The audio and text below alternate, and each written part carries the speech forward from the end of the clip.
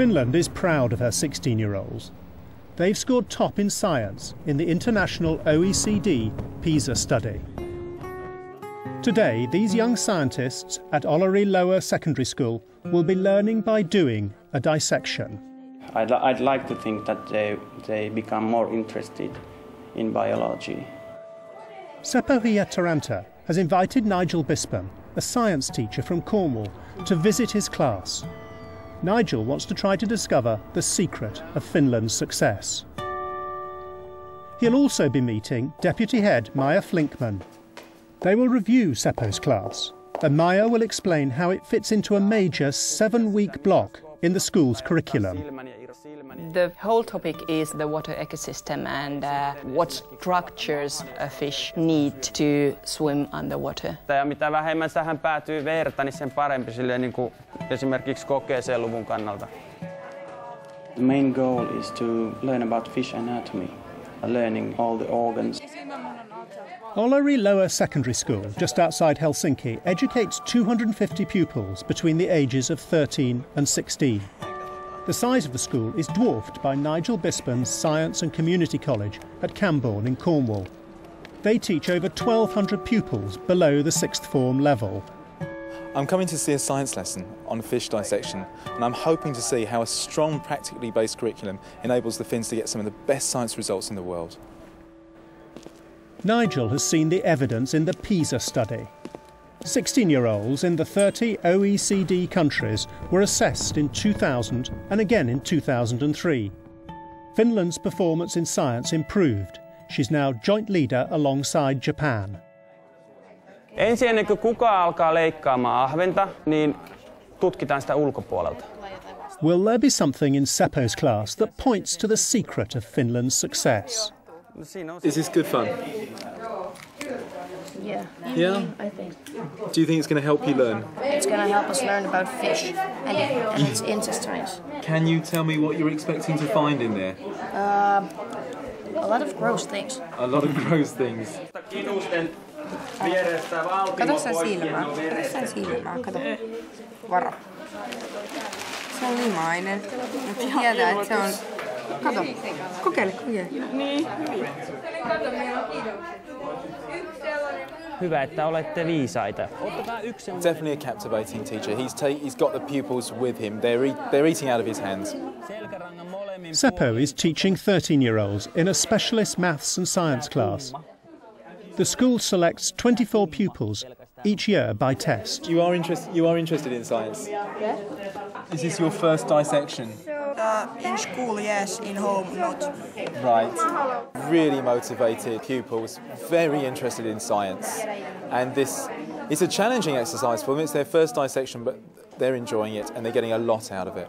Kyllä ikävää, kun ei voi oppia teoriassa näitä täytyy käytännössä kenttätyötä liata käteensä, kun voisi nähdä kalvolta siis. Siis On. Aha. Deputy Head Maya Flinkman has joined the class just in time to help Jaakko with his dissection. He's one student who's not enjoying the practical work. Rikot koko... Koko elukan. Niin. Niin, no, niin se menee. They thought that they had guts there, but they had stomach and a throat. No nyt teillä on vähän paremmat näkymät, eikö niin? Paljon kiitos. But then they cut it the stomach and they, they got a half of the fish. Eli te voitte avata täältä tämän suun. and, and they could identify the fish.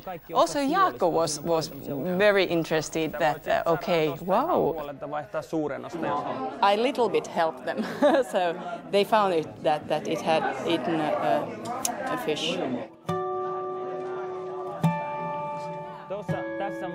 This is an extended lesson, and there's time for Maya to show Nigel the school's woodland study site. Got the freshwater shrimps, okay. She wants to explain how dissection fits into the class's seven week study of the water ecosystem. So you've got this tremendous resource on your doorstep. How do you use it? Uh, on, on seventh grade, we come here and take samples and uh Uh-huh. identify all, all the creatures what we get from here. And they find the algae and they find other little animals. Right. Oh, what have we got here? Magic fingers, three species in one go. Yeah. It's caddisfly. Yeah. Hey, I'll put him back. What have we got under this? It's easy for them to, to follow the food chain and to see how everything is, is related.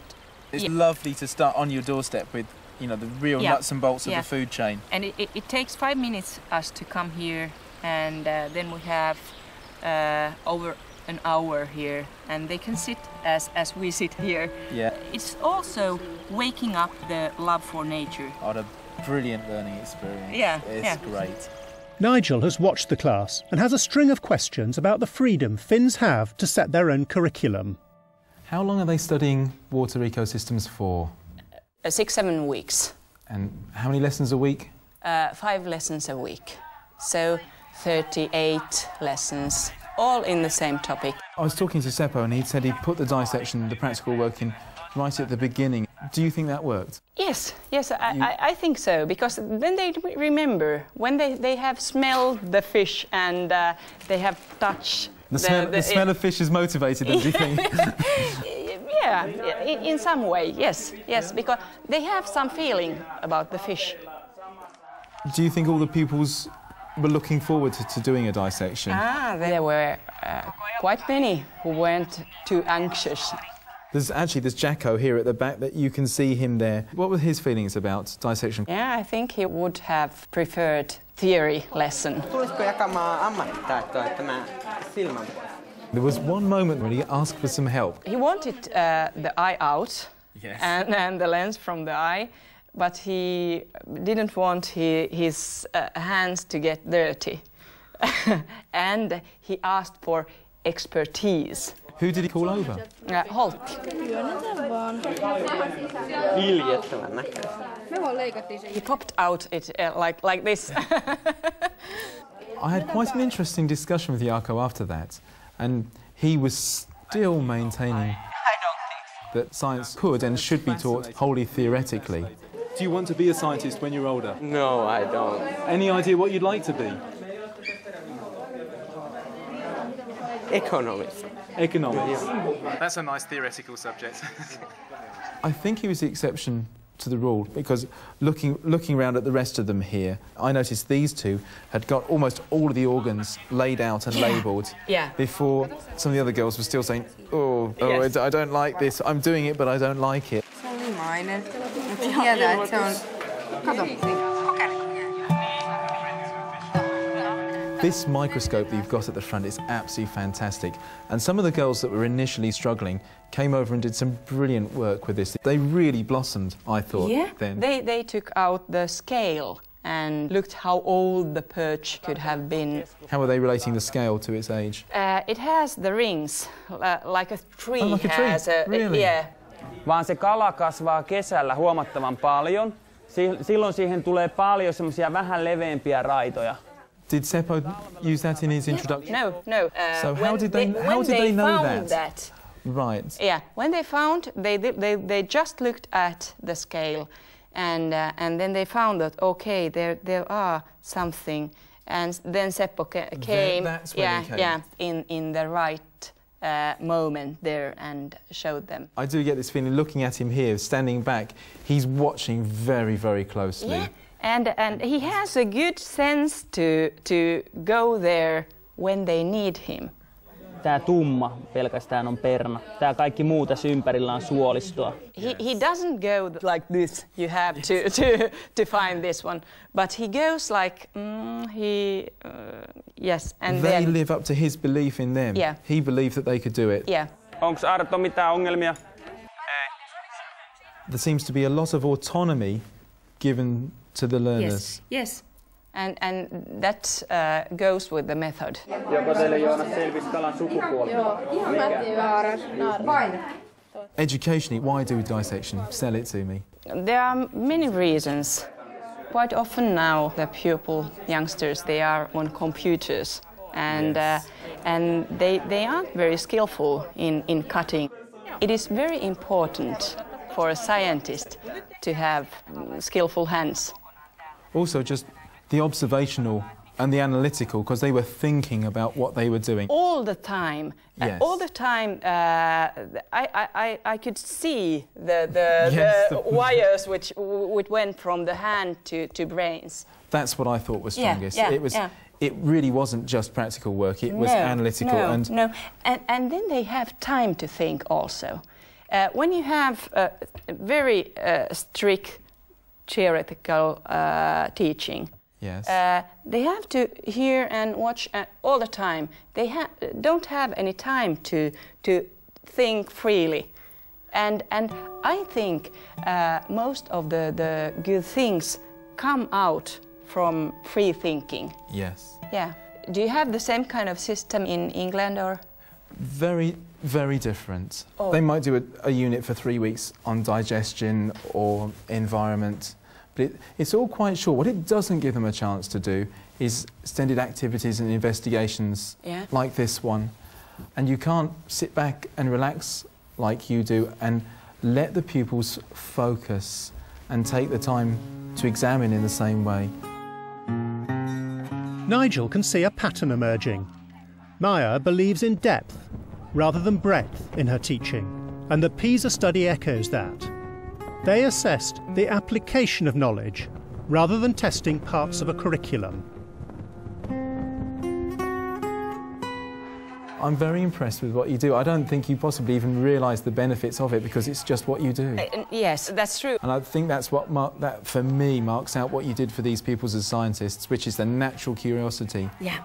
And, and, and how they, they continued after what they were told to do, and they found out new things. Yeah, let's specifically let's talk about this group down here because they re- they found out something very special. Tell me about this group here, the girl with the blue top. Nigel! They had uh, picked up a lens from, from the eye, and uh, they just put it uh, on the paper. Oh yes, there's the See, lens. see, see, see it here. Had Seppo suggested they look for the lens? He said that they could uh, watch the eye and uh, perhaps take the, the lens out. But then the boy, he watched the lens from just up, uh, upside and he saw the pixels. You can see the pixelation of the newspaper print. Yeah. Wow, that is amazing. Have you ever done that before? No. And has a, you've never seen a pupil do that then either, no, obviously. No, So no. that's it, it, wonderful. It, it, was That's accidental, absolutely wonderful. but it was uh, wonderful. Yes. Yeah. yeah. And that's the, that's at me. That's for me the nurturing of a real scientific mind. You've Yeah. given the child a chance. And that's to do that's that. also also something uh, to teacher, because Yes. uh, I I love those moments. Yeah, That's, yeah, they're what teaching's yeah, all about, yeah, isn't yeah, it? Yeah. I think this, the open-ended investigation in science that you do, is the essence, the real essence of good science teaching. Yeah. And I think you've got it right.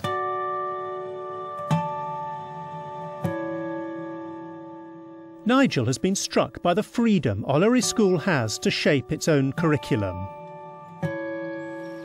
And, by the way, they use the natural facilities around them. It's been great watching a group of pupils enjoy working as scientists on an ex- basically on an extended project. And I think there's some challenges here for us because we pride ourselves in a broad and balanced curriculum. But this is a country that gets the best science results in the world, and it seems to suggest that it's the depth, not the breadth, which is giving them the feeling for what it really is to be a scientist.